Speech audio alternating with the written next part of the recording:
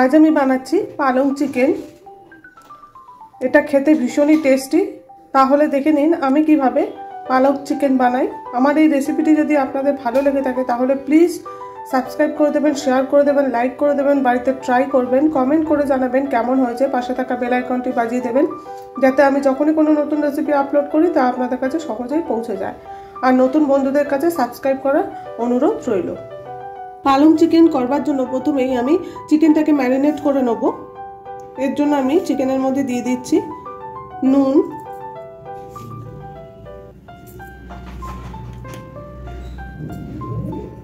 এবার এক table spoon red chilli দিয়ে দিচ্ছি powder half teaspoon black pepper powder দিয়ে দিচ্ছি।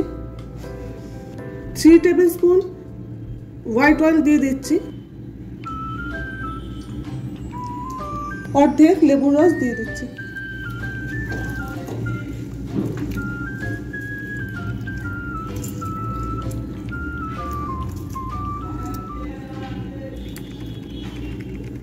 ভালো করে মেখে নেব।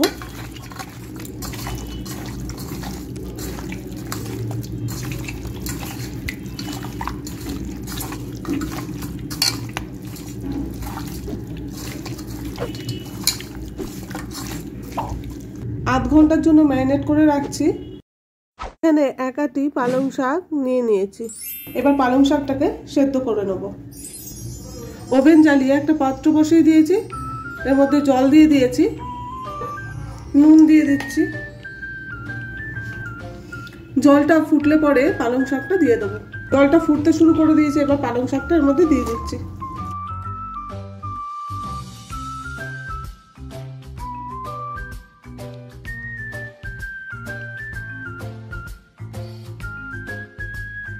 পালং শাকটা সেদ্ধ হয়ে গেছে এবার। গ্যাসটা অফ করে দিচ্ছি। তুলে নেব।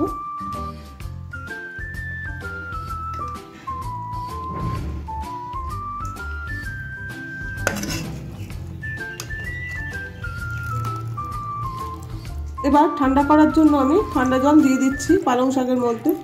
পালং শাকটা ঠান্ডা হয়ে গেছে। একটা মিক্সিং জারের মধ্যে পালং শাকটা নিয়ে নেব।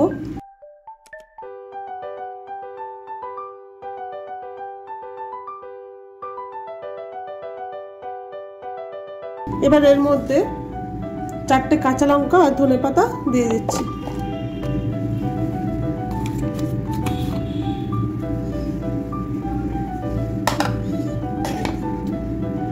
পেস্ট করে নেব। পালং শাক আর ধনে পাতার পেস্টটা তৈরি হয়ে গেছে। এবার একটা পাত্রের মধ্যে ঢেলে নেব।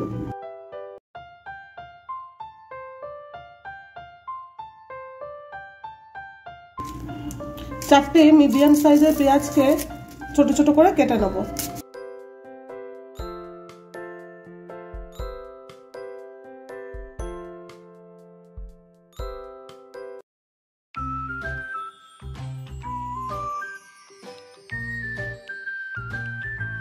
এইরকম ছোট ছোট করে কেটে নিতে হবে।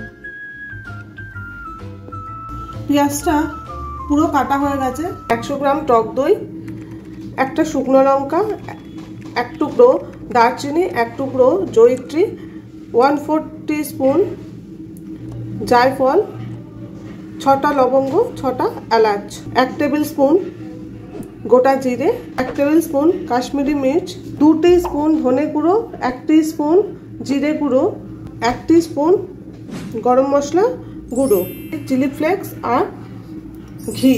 আর ধনে পাতা নিয়ে নেব। আদা রসুনের পেস্ট দু টেবিল স্পুন এই চামচের এক চামচ চিনি নিয়ে নেব।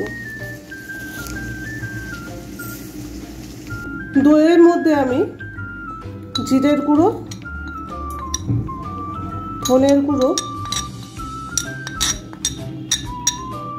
আর কাশ্মীরি মির্চটা দিয়ে দিচ্ছি।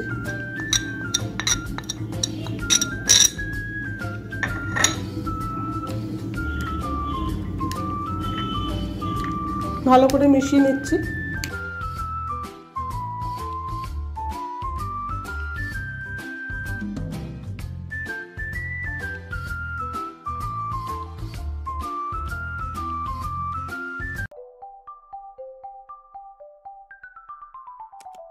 ওভেন জ্বালিয়ে আমি একটা কড়াই বসিয়ে দিয়েছি। কড়াইয়ের মধ্যে আমি সাদা তেল দিয়ে দিচ্ছি।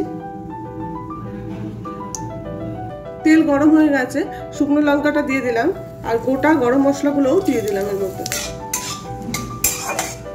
সাবধানে করতে হবে ছিটে আসতে পারে। গোটা জিরেটা দিয়ে দিচ্ছি।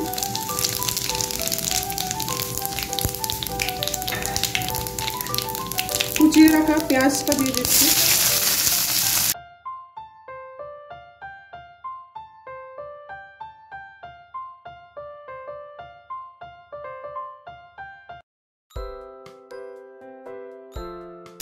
হালকা ফ্রাই করে নেব।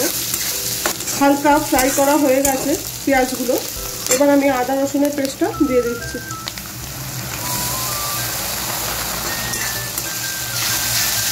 আদা রসুনের কাঁচা গন্ধটা না দেওয়া অবধি ফ্রাই করে নিতে হবে।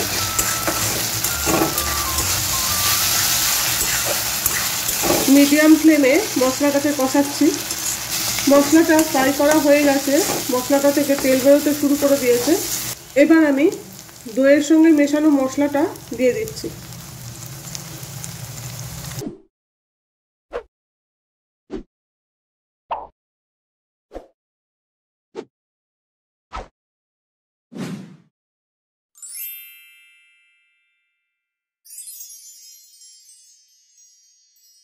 মশলাটা খুব ভালো করে কষানো হয়ে গেছে। এবার এর মধ্যে আমি চিনিটা দিয়ে দেবো।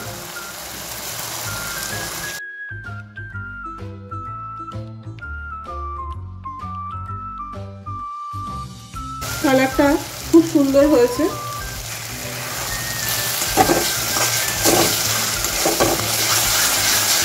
এবার আমি পালং শাক ধনে পাতা কাঁচা লঙ্কার যে পেস্টটা করে রেখেছি, ওইটার মধ্যে দিয়ে দেবো।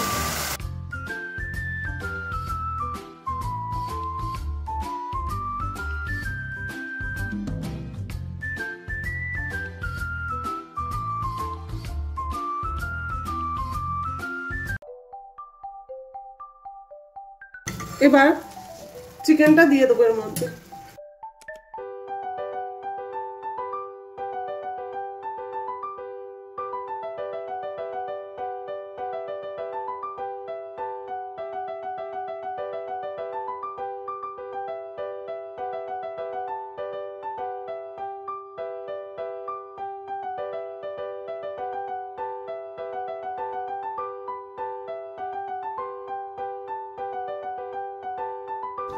চিকেনের যে মশলাটা ছিল, আমি সেটা দিয়ে দিচ্ছি।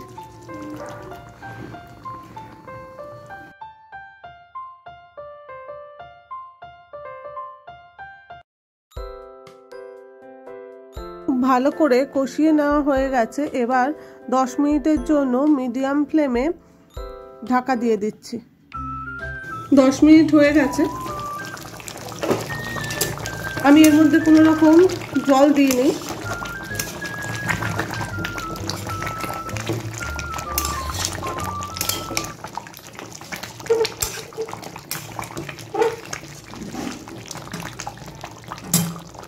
এবার হাই ফ্লেমে করে দিচ্ছি আরও দশ মিনিটের জন্য। আগে থেকে যেহেতু নুন দেওয়া ছিল, তাই আমি এখানে সামান্য নুন দিয়ে দিচ্ছি।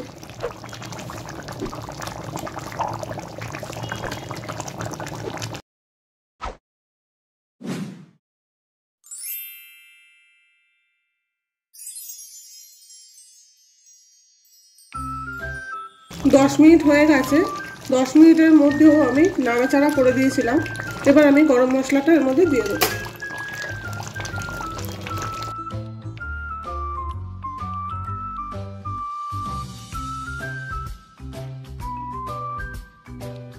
পালং চিকেনটা তৈরি হয়ে গেছে। এবার আমি গ্যাসটা অফ করে দিচ্ছি।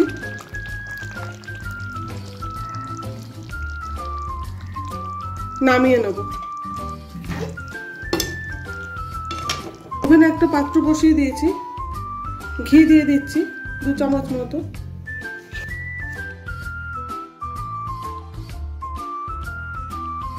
এবার ঘিটার মধ্যে আমি চিলি ফ্লেক্স দিয়ে দিচ্ছি।